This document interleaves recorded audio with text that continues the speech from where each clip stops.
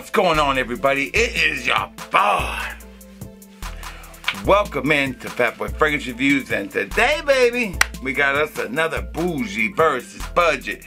I got bougie versus budgets coming out of the woodworks because you know why? We got Mikey Dinsmore putting in some work, hard work, and he did it, killed it with the Ganymede. Right now, we can say without a doubt until we uh, get some more challengers, and I've got some more to try. The home of the best Ganymede clone is Makin Scents. Make sure you check it out. Makin Scents. I'll leave the link below. So the one we're doing today, because you already saw the intro, we get right into it, baby. We're not messing around today. We're going to be talking about his version of Dolce & Gabbana's Pineapple, an amazing fragrance that sadly got discontinued. I sold way too much of it. I have a review on this fragrance. This is one of my favorite fragrances I picked up in the last five years. It is unbelievably amazing. And it shouldn't be this good, but it is. And all right, but here's the deal. This one is a clone of it, and his version is called um, Juicy Fruit. And we'll get into that. Okay, like I said, sorry about that little mix up there. We had to change batteries real quick. Now we're rocking and rolling. So we're going to be discussing the bougie versus budget. If you've never watched one of these before, here's how they go. We got a we take a fragrance that's very expensive. It's a bougie fragrance, like Dolce & Gabbana's pineapple. Bam. And we take a budget, which is going to be making senses, um, juicy fruits. And we see if the budget can replace the bougie because the bougie is gonna be hard to get and very pricey if you can find it. But what about that bottle? Don't we love that bottle? I love this bottle. I should have bought another one, but I didn't. Always dollar late, a dollar, a dime, a day late, dollar short, baby. But let's find out if this bougie's worth it, because this is the only uh, clone out there of this fragrance, and Mikey has it. I don't think nobody has done it. If they, if I'm sure somebody will let me know, and I'll get it. We'll compare it. But right now, Mikey's on a hot streak with the best Ganymede clone, no doubt. Okay, so let's put this in the air on the skin. We'll do our first test, which is first impression. How close do they smell when you first spray them? All right, let's put. Ah, Dolce & Gabbana. Man, damn, damn, damn, damn, that smells so good. And I'm a huge fan of the note of pineapple. And I think this would blend so good. And I'm blending it right now, actually with Ganymede on top of here. Man, I'm gonna, I'm gonna blend this with Ganymede and see what I can come up with. Man, it's gonna be that might be that might be a new hit. So I love the smell of that fragrance. It has this beautiful pineapple fruit vibe. It's just gorgeous, musky. Oh, I love it. And let's put this one in the air.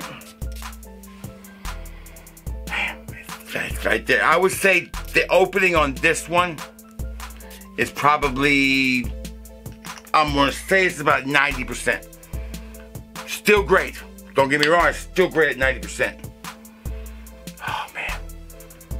I'm gonna tell you one thing right now when I smell them on the skin, first impressions, I actually prefer Juicy Fruits vibe over the real deal.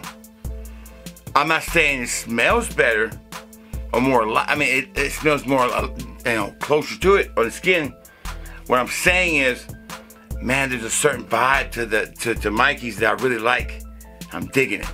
So, overall score and first impressions, I'm gonna say it's about 90% there. But if we're looking at a pleasing, beautiful fragrance, they're both very beautiful and pleasing. I mean, that, that's a hit right there, in my opinion. Okay, second box performance. This was a good performing fragrance for a fresh fragrance. We're talking five, six hours.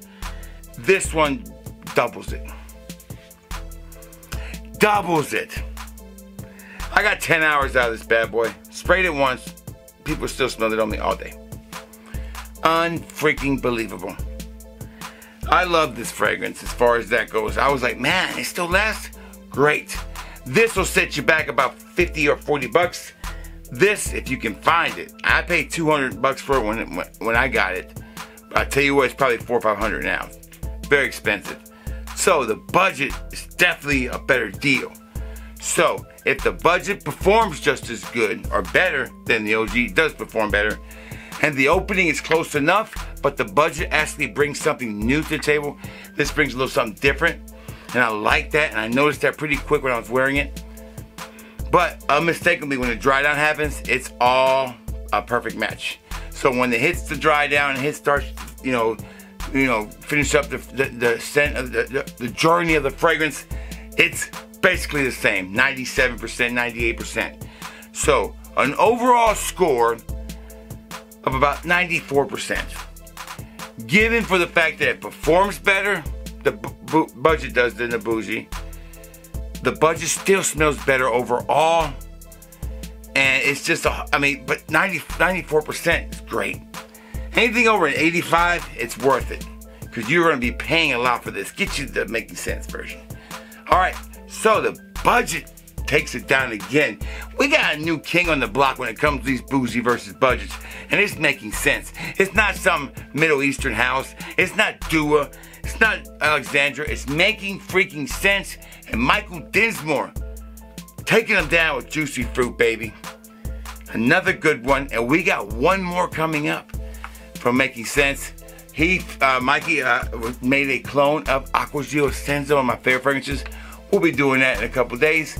That's it, baby. But for now, the bougie is amazing if you can get it. I can don't press yourself too hard. Get this bad boy. Juicy fruit is well worth the replacement. I'll leave the link below. And I also will leave the link where if you want to sample it from me, you can. Alright, baby, that's all the time I got. Y'all stay safe, y'all stay well. If you smell good, baby, and you feel good, then it's gonna be all good. Fat Fragrance Reviews is out.